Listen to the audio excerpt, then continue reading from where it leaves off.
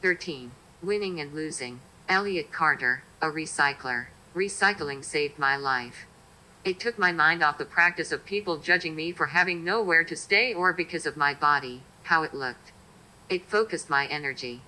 In the beginning, it was also about money. When the time went on, it became more of a release. It was something I could use to refocus all that crazy energy. When dollars worth. You don't never have to de- You get too high on the horse, do some recycling.